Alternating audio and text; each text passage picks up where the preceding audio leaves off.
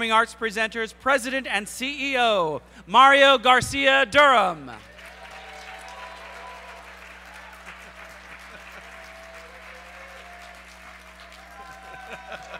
Thanks a lot. Good. Hello, is this working? Great. Good morning, everyone. How are you all doing? Excellent. That, that's the spirit we want you to take with you back to your jobs and your communities. So, welcome to this special moment when we come together to reflect a bit on all that has been accomplished over the past days and to bid each other great success and well wishes for a successful new year.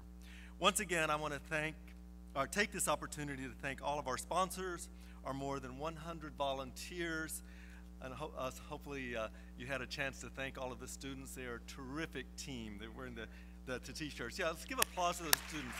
Like, so- they were just they were just amazing.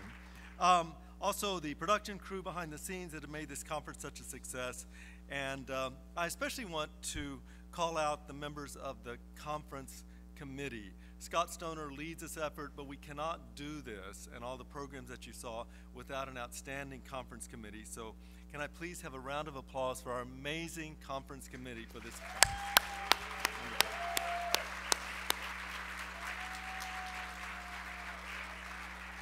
But the leaders of the conference committee, our co chairs, were on the phone almost daily with Scott, if not weekly, constantly going back and forth about ideas, directions. It was just, they were so, so engaged, I have to say. So, uh, uh, Rachel Cohen, Kathy Edwards, and Daniel Bernard Romain, can you please stand and accept our thanks for your work? There we go. There we go.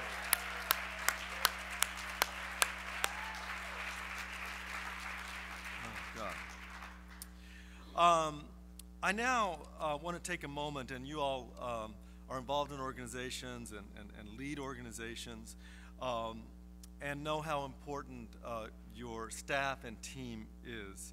Um, you know, I'm just kind of pushed out and told where to go and what to do during the conference, and I can't do any of this without this incredible team of, of staff and uh, conference uh, members. So I'm going to, you will indulge me, I'm going to take just a moment because I think it's important for everyone to hear their name to know the acknowledgement. So please hold your applause to the end. But um, Megan Redmond, uh, Judy Moore, Tiffany Gauthier, Mallory Bum, Sue Noseworthy, Keisha Shorter, Shruti Makund, Scott Stoner, Kaylin Saylor, Danielle Rohar, Jenny Thomas, Sarah Martin, Melinda Lambert, Nicola Turner, Taylor Rambo, Margaret Stevens, uh, Katina Lancaster, uh, Adam and Christy Kissick, um, um, Mara Zuckerman. Oh, I'm sorry. Hang on, I'm going to come back to that. Uh, the HowlRound team. Uh, wanted to thank Phil Seaman, um, Robert Baird, who helps us so wonderfully, uh, Bill Carlton, Caitlin Davis, uh, Alicia Anstead, our editor of the Inside Arts magazine, Suzanne Roche, um, and uh, our media relations team, Carol Miller and Nancy Rutherford. And um, I also want to thank our signers, Mara Zuckerman and Jane Adler. So, can I please have a special round of applause? And please stand up, all of the staff members. Please, please, please, please, please. You guys are amazing.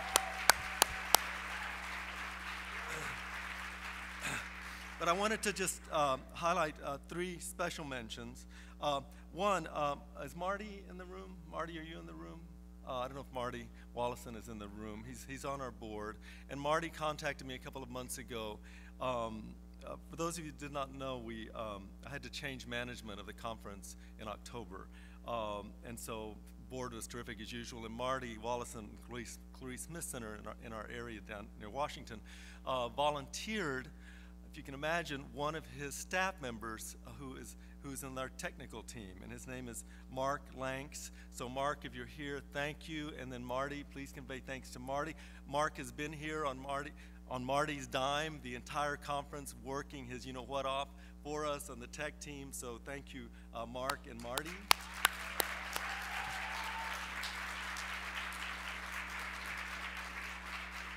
As, as I mentioned, uh, in, in October, I had to make a, a, a, change at the very top of, the, of our um, conference team um, with changing conference directors. And something happened that is uh, fortunate to us all, and that is that I uh, was referred to an amazing, amazing woman who many of you know, um, who came in, and I can honestly tell you is one of the most professional, unflappable goddesses I've ever worked with, and her name is Victoria Abrash. And can you please give her a huge round of applause there, Victoria?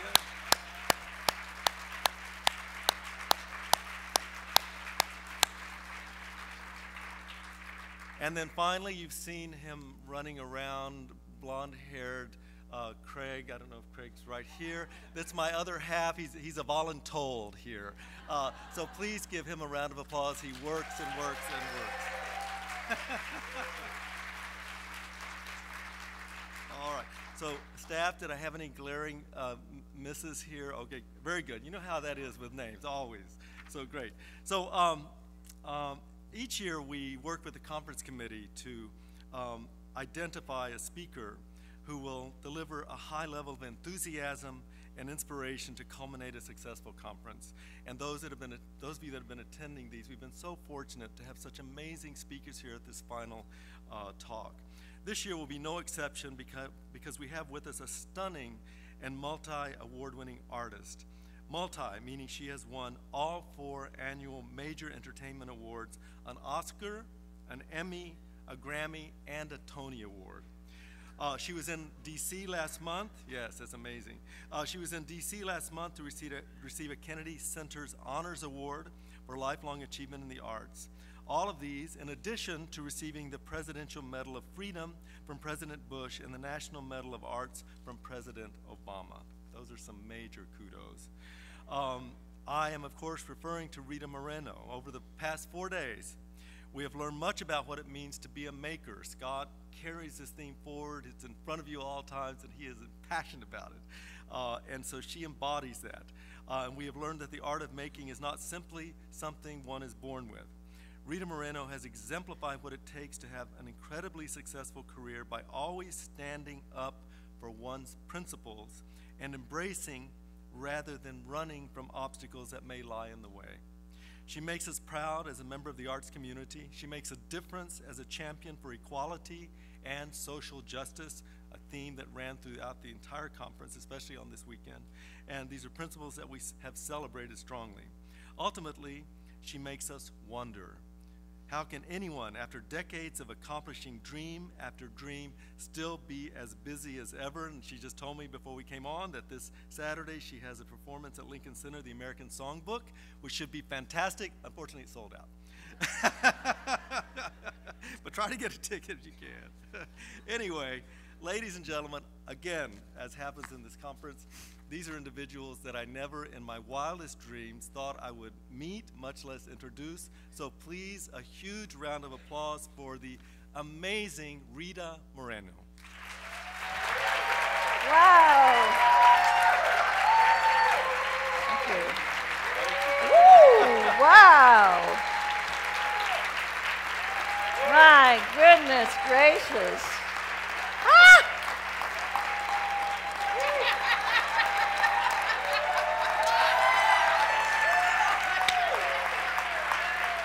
Wow. well, oh my goodness, I'm so delighted you're here. I am so delighted to be with you today. Uh, actually, I'm thrilled to be anywhere that's not outside today. Can you believe it? We Puerto Rican girls do not do well in this kind of weather. So, anyway, yesterday some of us um, celebrated and remembered with profound gratefulness the legacy of Dr. Martin Luther King Jr.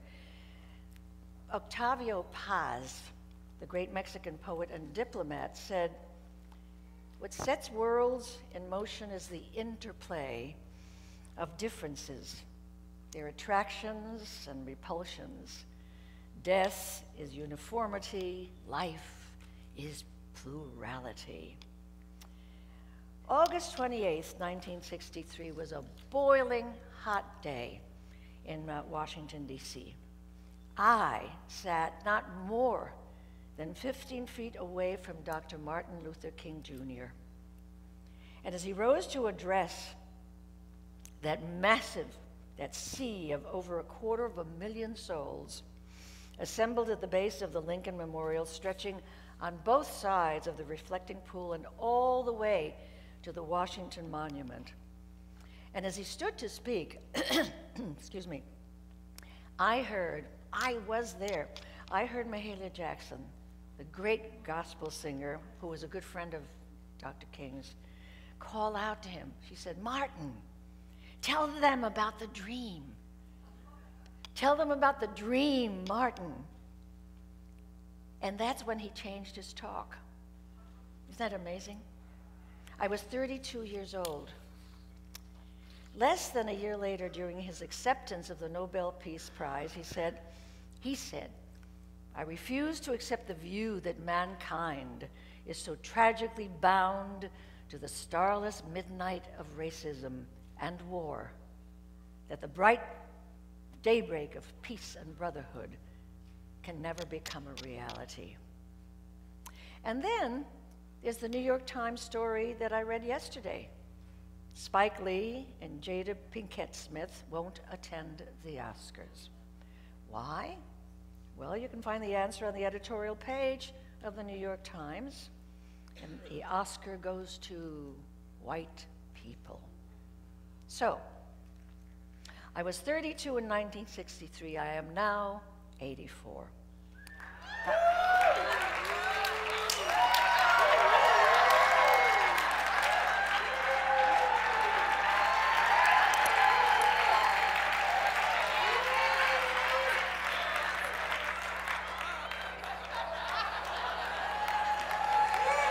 Oh. oh, it's nothing. By my math, that's 52 years ago, more than half a century, and yet the struggle continues. Sometimes, you know, sometimes you have absolutely no idea.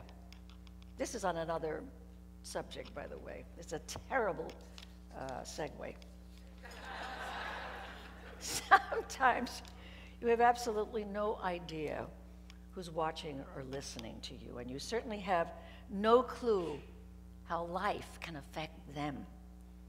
You may know that I received the Kennedy Center Honors Award in December, and let me tell you, I was so surprised and delighted when Gina Rodriguez, my TV granddaughter on Jane the Virgin, appeared on stage and said, in paying tribute to me, among other things, she said to me, You gave me hope. You gave me a reason to fight and to speak up. You gave me a voice, and how can I ever thank you? I'm not sure how, but I can tell you this. When you followed your dreams, Rita, you gave me the allowance to follow more. Naturally, her words left me undone. So, you might ask, how does a little girl from Juncos, Puerto Rico, who danced for her grandpa, oh, one Puerto Rican in the whole joint.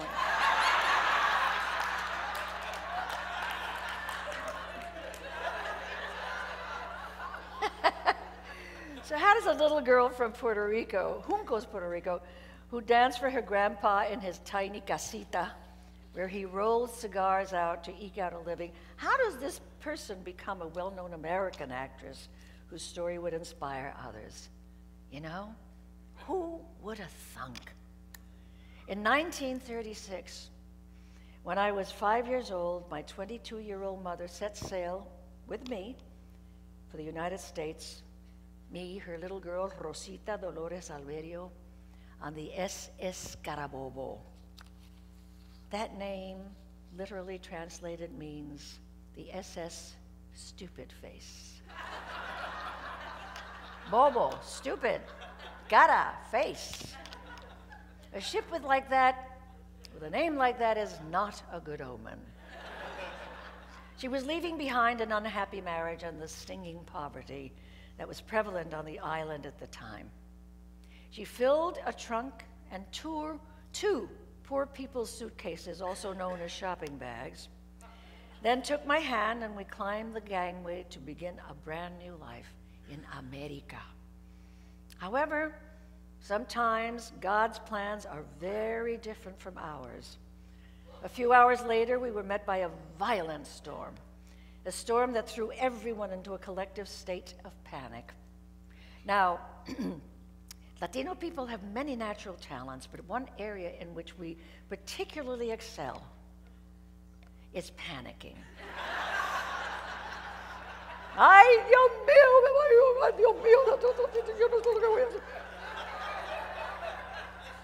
When it comes to panicking, we are the envy of the world. It is part of our worldview. We are profoundly passionate people, pathologically passionate people. Everything in excess, nothing in moderation. Where other cultures believe in restraint and self control, we believe in the principle of constant combustibility. When in doubt, flip out. Not kidding. The storm raged for what seemed like an eternity, and thankfully, we finally found safe haven in New York Harbor. And that's when I first saw. This enormous green lady shooting right up out of the water, wearing some sort of crown on her head, holding what looked like a uh, huge flaming ice cream cone. oh, mommy, ¿quién es esa señora tan grande? My mom tells me that that señora is a very special señora, that she's inviting everyone from around the world to come to America, to come and live here, to come and be citizens of los Estados Unidos, especialmente people who are pobres, cansados, hambrientos, sin hogar, poor, tired, hungry, and homeless. We are definitely overqualified. But when I look up at that big green lady's face, all I can think is, oh my goodness, that lady runs this country. and look where we are right now. When we get to New York, we make a beeline for the Bronx, where we proceed to move into a four bedroom apartment. The only problem is that there are three other families living there as well. The hallways are dimly lit. They are dimly like the light bulbs are just so dim, some missing from their sockets. The walls had been painted so long ago that they turned into a shade of kind of mustard, the color of all tenement apartments. The good news is that we don't stay there in the four bedroom apartment for very long. The bad news is that our next apartment has only one room. I sleep in a tiny iron bed with my mommy. The place is so small, even the cockroaches can't move around. And these are New York cockroaches. I mean, you turn on the light, instead of scattering, scattering, they're all standing up straight and saying, So, que quieres tú? Turn off the light. yes, they do put their little legs on their little hips. That's a New York cockroach for you. They don't do that in LA. We had to keep moving. When you're that broke, you move just to get the rent concession. Most of the time, you just move across the street. This is true. And then a little while later, you move back again. It's sort of like a poor people's version of alternate side of the street parking. but at least the new apartment would always be freshly painted and the walls weren't flaking at that moment. When I started exploring the outside, it was to go to a big, scary place called school where millions of other kids knew everything I didn't know, and absolutely nobody spoke Spanish because this was before the Puerto Rican diaspora. The only way my mom could get me to go to, was to drop me off and tell me she was going to buy me a packet of chicle gum. And I'd be right back, okay? I cried and I thought she'd left me forever. Once I settled into this new routine, I felt safe in my classroom, but walking home That was a different story because I ran home. I ran home from school almost every day. I got a lot of exercise because I never ran in a straight line. I had to crisscross the street every half block to avoid the gangs of kids who owned the sidewalks. I couldn't get to our apartment building soon enough, let me tell you. I crisscrossed from side to side, trying to escape the jeers and name calling. Spake, garlic mouth, pierced ear, grease ball, names I had never heard until we arrived in this cold, gray, grit frozen hell in the dead of winter. I was absolutely amazed to see that the trees had no leaves.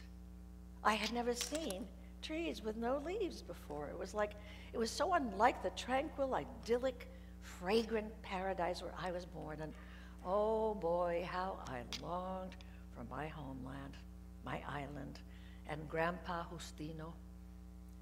The pain of those terrible words would stay with me throughout my childhood, right into my adult life. I'd run from the feelings caused by those words. I must have believed them because I, I had, I, I had to must believe them because later I would run from myself, Rosita Dolores Alverio, the niña who just didn't fit, whose skin was too dark, whose hair was too curly. What was it? Did I carry the smell of my abuelo's cigars? Oh boy, I really wanted to be somebody. The problem is, I wanted to be somebody else. So what do you do when reality bites? You dream. My sanctuary was beside our cathedral shaped table radio that sat by the window in our barrio apartment.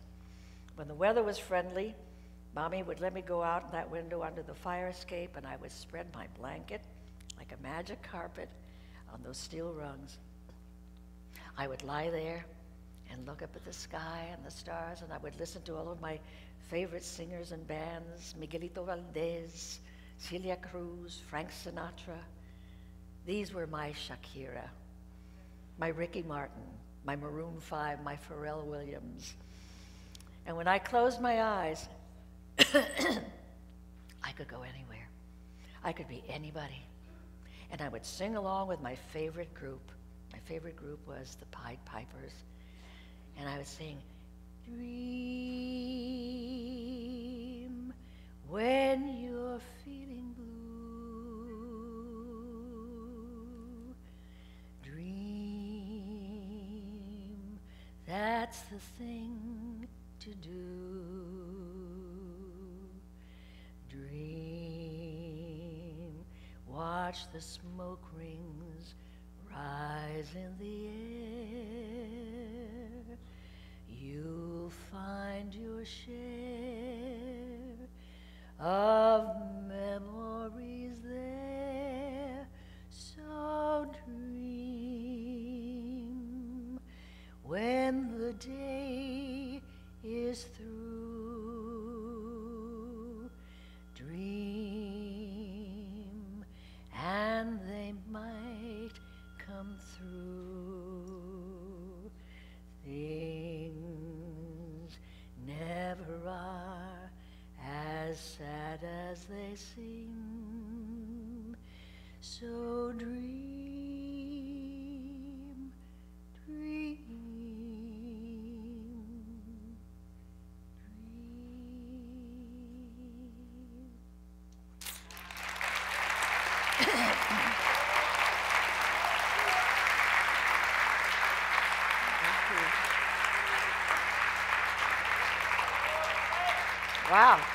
You. And I earnestly hope that phone was turned off. Because if I hear it again, you die.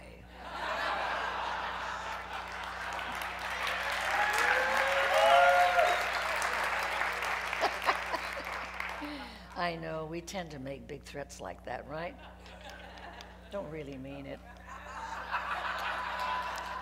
Most of the time. My greatest longing, my dream, was to be in show business. And my mom allowed me to pursue it, like many immigrant mothers before and many who would follow. She spent much of her time just getting by, all the while encouraging me to pursue my dreams and reach for the stars, and I did. For years, I mistakenly thought I had no role model. But oh boy, it wasn't until much later that I would appreciate my mom's example of hard work, persistence, and a spirit that would not surrender. Somehow those values became deeply embedded in my character and motivated me throughout my life and career to never give in, never quit. I look back and see her as a hero. And of course, like all heroes, she had feet of clay. Oh my God, how she could embarrass me. Once, well, she had a little trouble with the English language.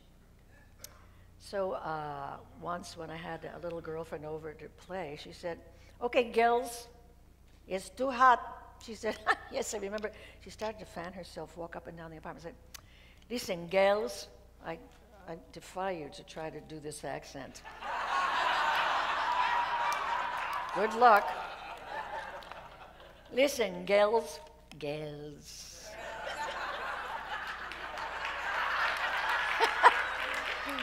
She said, It's too hot to do any work today, for piss sake. You said it? You said piss?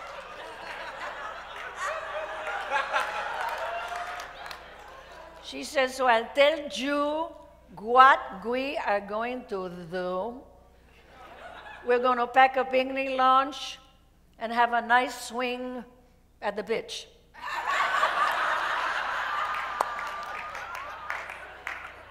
You can imagine how mortified I was. Oh my God.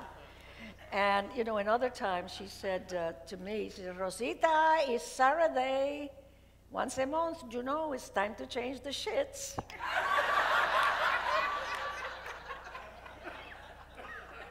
and I was I just so mortified. I said, Mommy, Mommy, for God's sake, bendito sea Dios, Mommy, te ruego. A-E-I-O-U.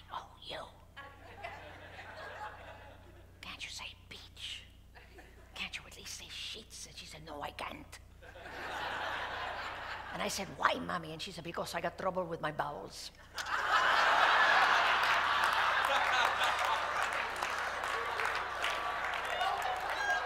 yes, she did.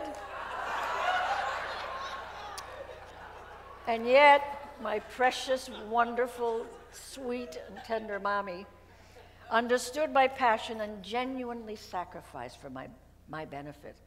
She would take me for dance lessons, then travel with me so I could perform at any bar mitzvah or wedding reception that would book me for the entertainment. In those early years, I was a miniature Carmen Miranda, the Brazilian samba singer, some of you may remember.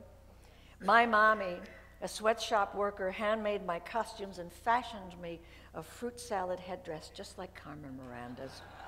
Sometimes I would get an after school job at Macy's Little Theater situated in the toy department in New York City. We would entertain the kids and their parents with songs. Anyway, a few years later, I was performing at a dance school recital when a talent scout was so pleased with my performance, can you believe it, that he whispered my name into the ear of the great Mr. Louis B. Mayer, as in Metro Goldwyn Mayer, the studio that made The Wizard of Oz. The scout arranged for mommy and me to meet this giant of film industry. And the only way I thought I might make an impression on the great man was try to look like my idol, Elizabeth Taylor. And once again, mommy was there to help. We bought a waist cincher and invested in a set of feminine enhancements. Uh, My dress, my hair, my nails, my shoes, my face, my gloves, every single last inch of me was prepped and powdered and covered and uncovered until at last the time for the unveiling had come. We rode the elevator up and up to the highest turret in the Waldorf Astoria. And when the doors finally opened, there he was, the little wizard himself, all five foot four of him. Just like the little man behind the curtain in The Wizard of Oz, my eyes were. He took my hand and held it and gave me a quick once over. The inspection took all of 30 seconds before he said, Why? She looks like a Spanish Elizabeth Taylor.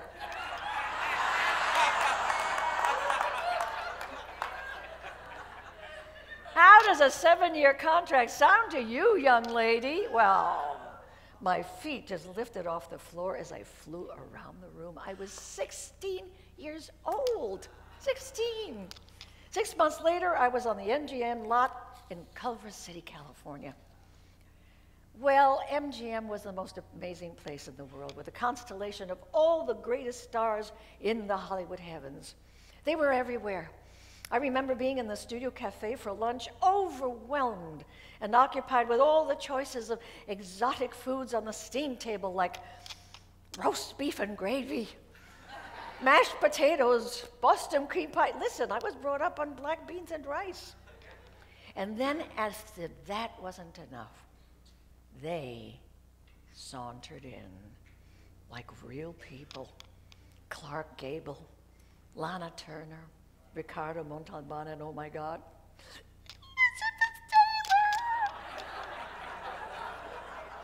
I wet my knickers. So, for the first three years, the studio, unhappily, cast me to play every kind of ethnic role you can imagine Polynesian girl, Indian princess, Arabian girl, or any dark skinned girl they needed. I hated those parts. I now refer to them as my dusky maiden roles. I had to deliver lines to my white lover like, Why do you not love Ula no more? And then my character, Ula, the Indian maiden, is so distraught when he summarily, white person of course, summarily rejects her that she flings herself off a cliff. And you know, when I was thinking of this story to tell you, my long term memory kicked in as I was recalling this story. And I remembered that at the end of that scene, the director cut to the waves lapping over Ula's lifeless body on the beach at the bottom of the cliff, which, of course, in reality was me. And in that water, this was filmed in Mexico, were hundreds, thousands of tiny jellyfish stinging me. So, of course, this dead person is wiggling with discomfort. The director barks to me, Stop twitching, goddammit, you're supposed to be dead. But, but Mr. Allen, I'm, I'm, I'm getting stung by these jellyfish. Shut up and do as I say. And there you have it. He sees me not as Rita Moreno, young actress, he sees me as Ula. So you have to ask yourself what was in the mind of these studio executives and writers? The parts they were creating for young minority actresses gave a clue. These roles objectified us. They almost always portrayed us as ignorant, uneducated, totally passive, unable to read and write, and morally bankrupt, usually some white man's mistress. So, you ask, how does an Indian princess speak? Or an Arabian girl, for that matter. So I think, what can I do to make these terrible parts at least more authentic? We were given no dialogue coaches, and the directors never seemed to care, so I decided to solve the problem myself. I gave accents to these characters as I thought they should have. Well, a while back, I found a couple of my old movie clips on YouTube and started laughing out loud. the, accent I the accents I created all sounded the same. If she was Arabian, she sounded like this. She was Indian, she sounded like this. Hawaiian, she sounded like this. I had created a universal ethnic accent. So, why did you take these parts? I'm asked. It's called paying the rent. In real life, most of us have periods when our careers are not satisfying, but I could never give up. If I wasn't being cast in the best roles on the best projects, I could at least dream. And I did. For inspiration, I'd visit the sound stages where these kind of movies were being made at Metro Goldwyn Mayer. I love visiting the movie sets any set. And every one of these sets was like a little village with its own cast of characters directors and designers, gaffers, grips, hundreds of people all working together under the mantle of a great star. The Humphrey Bogart set, the Judy Garland set, and there I was in 1952 on the Gene Kelly set. Mr. Gene Kelly had taken a chance on me and cast me in the non ethnic role of Zelda Zanders in Singing in the Rain. What an experience to work with Gene Kelly and to be given a non ethnic mark. I even had to wear a red wig. All right, I thought, this is the beginning of a new career. And by the way, it's such a great movie. Go see it again. I was so young you won't recognize me, but I was Zelda Zander and I had a red wig. I mean, every time I look at it, I think, oh God, not one wrinkle. now, every profession has telltale signs of failure, signals from your employers that your talents may no longer be required. In the acting business, what happens is very simple your phone goes dead. So when the phone stopped ringing three years into my MGM contract, I was filled with dread. A whole six months went by without being in a movie. I was finally called into the casting office and told, Listen, dear, you know you're in trouble when they call you dear. We're letting you go. Just like that. Well, I cried for two, for two months, never in front of my mother. How could I? It took both of us to care for my baby brother and us. If I don't contribute, we don't eat. I considered every employment possibility, even secretarial school, but my internal compass kept pointing to that dream. So I took any job I could get. Movies like The Fabulous Senorita, Cattle Town, Fort Vengeance, Ma and Pa Kettle on Vacation. That was a low. Latin Lovers, The Yellow Tomahawk, Seven Cities of Gold of Ula fame. So you see, some careers can start off slow and then go downhill from there. the studio controlled my life. In many ways, even my social life. The studio executives would use big movie magazine spreads to test which one of their contract players might catch the public eye. The, the, these uh, movie magazines are now sort of like People magazine. So they sent you out with someone you hardly knew, a guy, uh, and staged fake dates. Two pieces of hot young Hollywood eye candy decked to the nines, pretending to be as happy as uneaten clams, with a photographer and a writer in tow to chronicle every move you made on that date. Here we are, driving in the Star Spangled Buick. Here we are, dining at the Rainbow Grill. Here we are, dancing at the oh so hot Mocambo.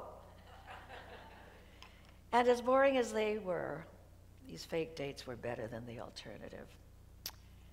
One afternoon, I was sent off to a cocktail party on the arm of a man named Harry Karl, the famous shoe tycoon and lover of all things young and beautiful, which he most definitely was not. Well, within meets, minutes of meeting Mr. Karl inside the vast confines of his bright yellow Cadillac convertible, it's clear that he and I don't even have the weather in common. And by the time we enter the home of Alfred Hart, the famous whiskey tycoon, and the butler took my rap, I realized that I've been abandoned. Harry Karl went somewhere in that house.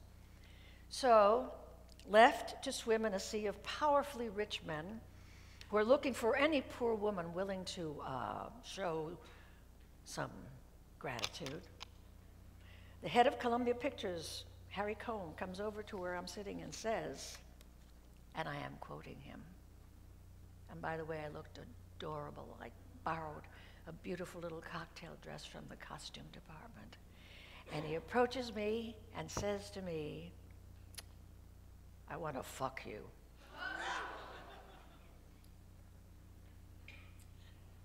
I had maybe heard that word twice in my life. I was a very young 17, 18.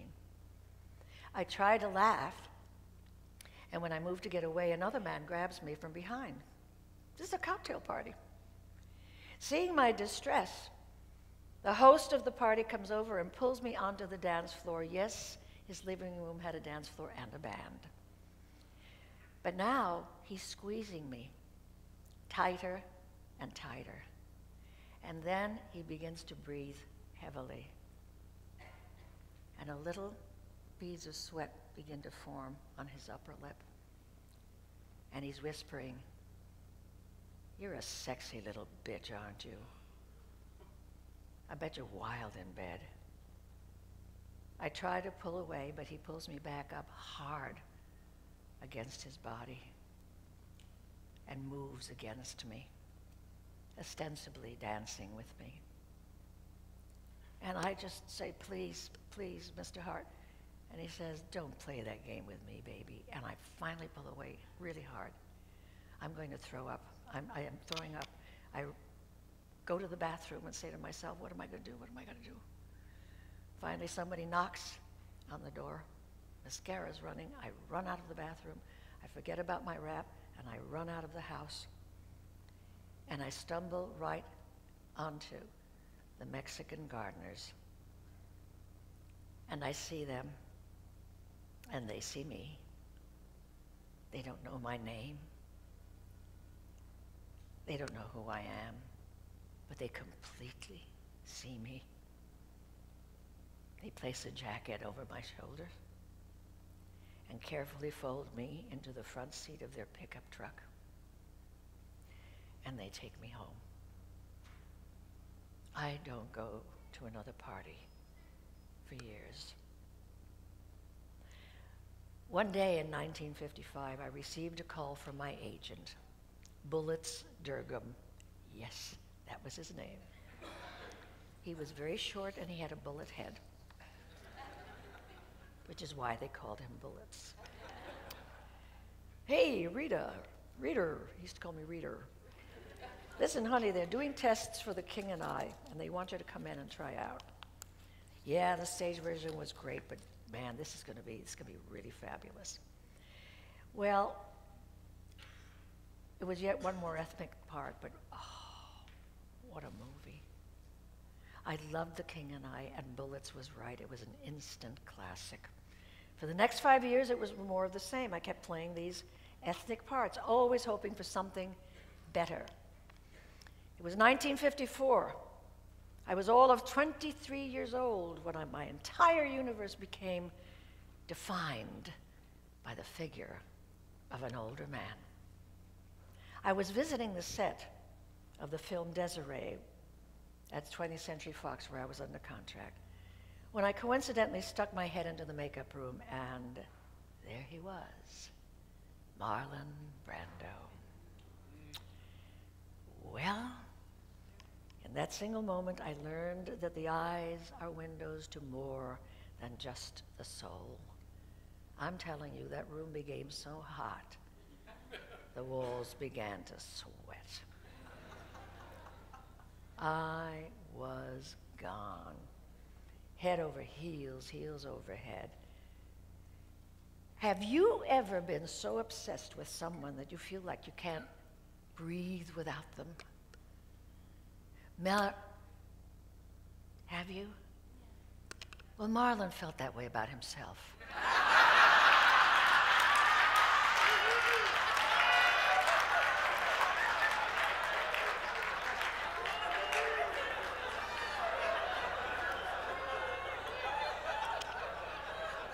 Unhappily, I agreed with him. You know that phrase, I thought I would die? When he walked into a room, I'm telling you, I could feel the pores on my skin expanding. And when he left the room, my hands would actually turn cold. I was in a fever for eight years. It's in the book, by the way, which I'm going to sign after this.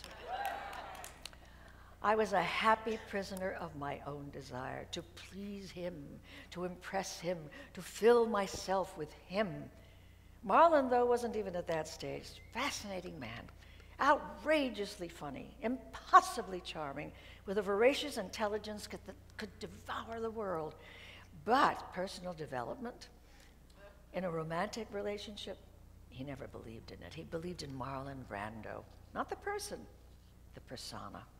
Well, I was gobsmacked, head over heels in love with him, along with at least two other women at that time. I had no idea, of course. Apparently, I was not enough for him. He required a harem. well, a girl does have to have a little ammo in her arsenal.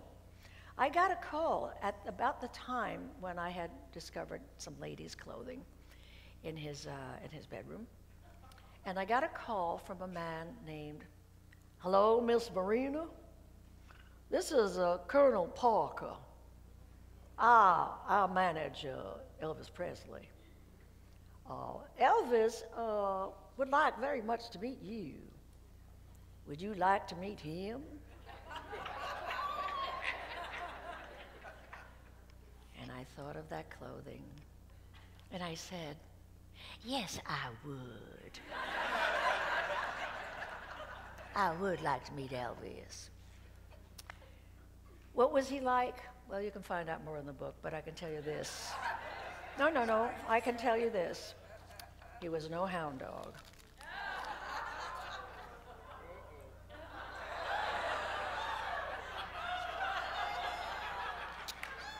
At the time we were seeing each other, Marlon made a very telling observation about my personality. He said, You know, you're the most ridiculously optimistic person I have ever met. I have an image of you carrying a stick with a nail at the end like a park attendant, but instead of picking up trash, you pick up bits of hope and deposit them into your little brown paper bag. And it still makes me smile because it's absolutely true. Hope is an essential part of my DNA. I am a prisoner of hope. When I was 28, I was offered the part of Anita in West Side Story. Oh, yeah.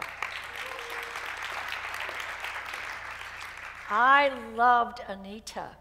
She was real. She was Puerto Rican. She fought for her rights. She had plenty to say about stereotypes.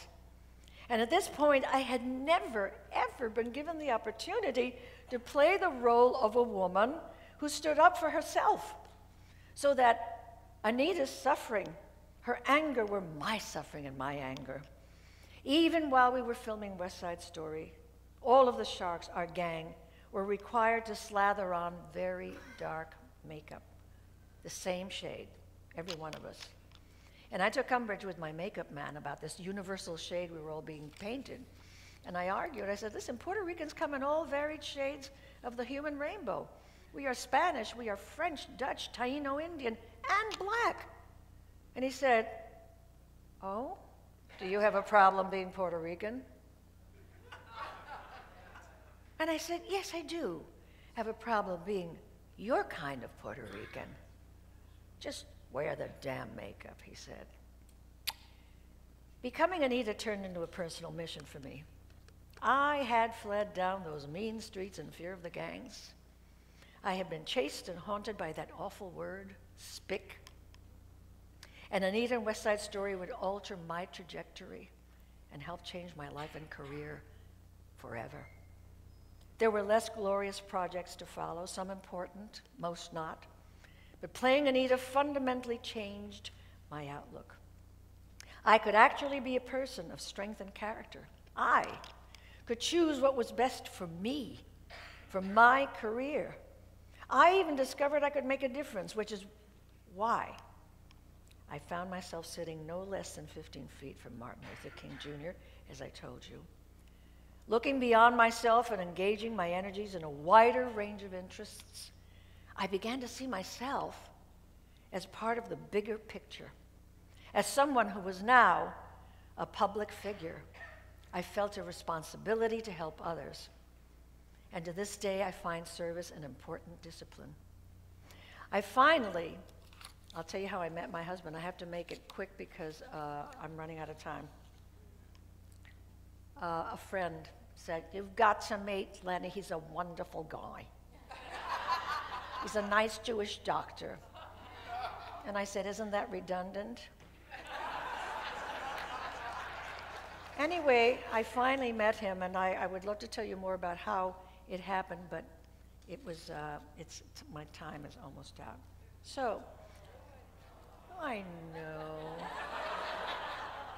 It is a wonderful story. But I got this. And uh, I really need, I, I think I need to pay attention because there's so many other things going on today. I can go on? Okay, so.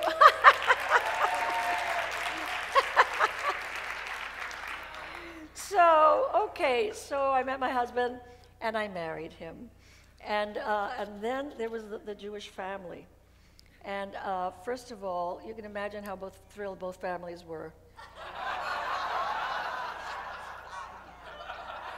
Talk about Romeo and Juliet. So the Capulets. So the Puerto Rican side of the family is saying, ay, ay, ay, bendito. The Jewish side of the family is saying, ay, ay, ay, ay, ay. The Bronx was aflame. So I finally said to my mom, Mommy, why don't you meet Lenny? He's really a great guy, and I think you're going to like him very much. And she, I said, We need to make peace. This is silly. And she said, You are so right. She said, Okay, let's, let's make peace. she did. Well, she's still alive. Anyway, uh, Lenny came to my house, rang the doorbell. My mother opened the door. She takes one look at me and she says, Jew are you?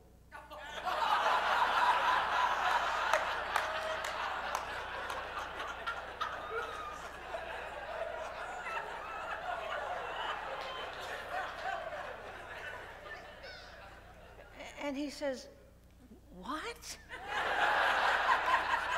Are Jew are you? Poor man was so flummoxed. He said, Yes, I am. I am. Uh, uh. anyway, we were married 46 years. It worked.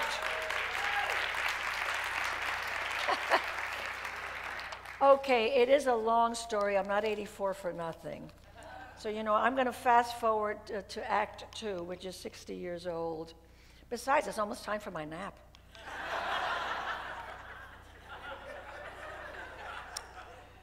It had been a decade since I, my last movie at this point, 1960. The Four Seasons with Alan Alda and Carol Burnett, that was in 1981. Ten years of no movies is a lifetime for an actor. So I was delighted when my agent sent me to try out for a role in a movie that was being cast by a famous director. I worked so hard on that part, I killed myself. I wanted that part so badly, and it wasn't the money, that would be nice but I needed it for my own self respect. So I sweated over that script for weeks, every word, every nuance, making sure that I had a great handle on the material. By the time of the audition, I actually felt so confident that I knew for certain that they would have to give me that job. I bounced into the room, and there sat Mr. Major Director, surrounded by his minions, and I said, I can't wait to do this scene for you because I think I really get it. And he glanced down at my script, and an awkward silence fell over the room. Oh, oh, no, no, dear, no, that's, that's not the role I want you to read for. We called you in for the part of the Mexican whorehouse, madam. My agent had given me the wrong part to read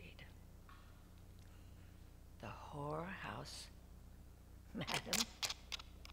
Wait a minute, wait a minute. Oscar, Tony, Grammy, Emmy 1, Emmy 2. This being, this being had brought me into audition, audition, try out, for a role with two lines of dialogue in Spanish.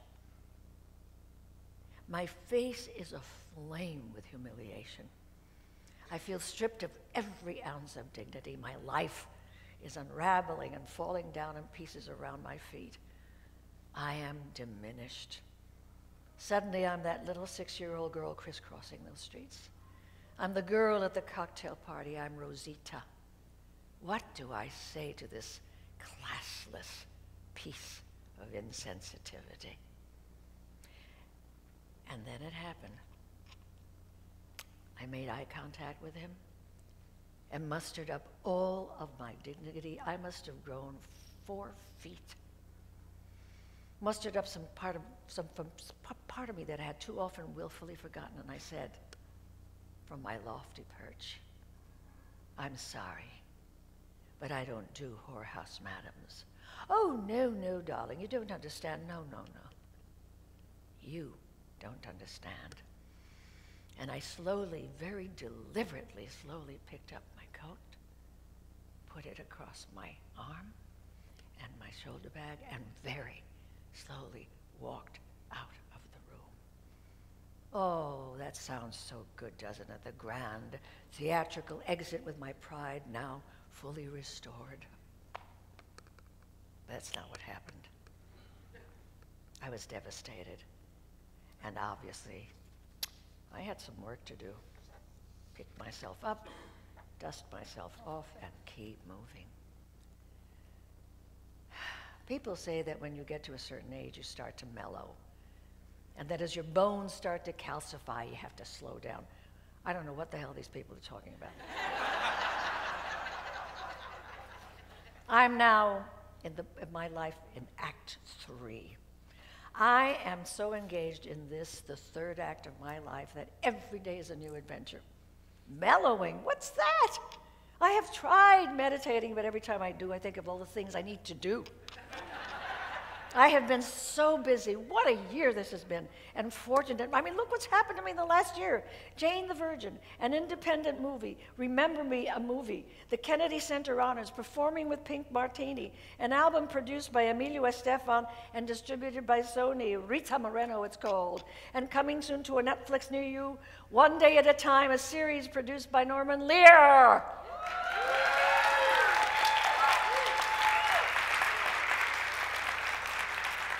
And finally, finally,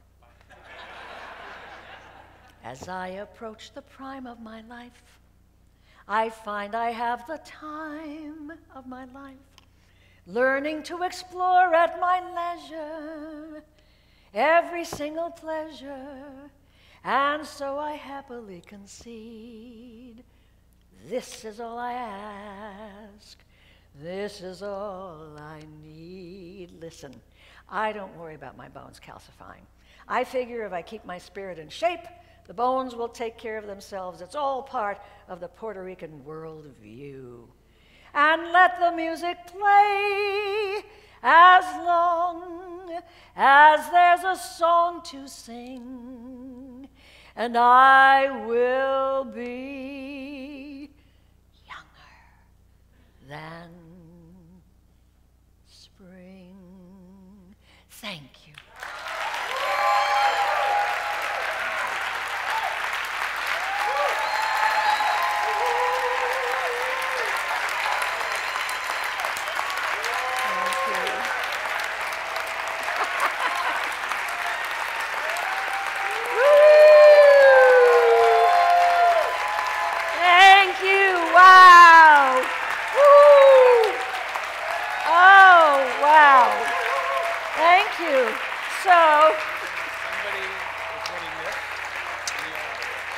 somebody is going to Can you see West Side Story? And I'm going to sign it for you. And that person is Dolly. No, no, that's not the, that's, that's the name of the center. I need a person. I need a girl, a wonderful girl. Ah. Lee Woodham. Lee Woodham, director, are you here? Lee Woodham. No? Okay, we'll send it to Lee Woodham. So I'm going to sign, okay? In the back. See you there. You were marvelous.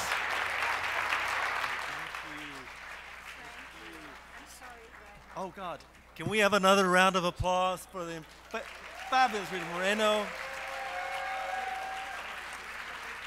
And I want to thank David Belenzon Management for making this possible as well. Let's thank him. And the books are in the back room. It's $20, $20, and the proceeds go to the food bank. So please head to the back you like your book. Thank you. Thank you all. This conference is now ended.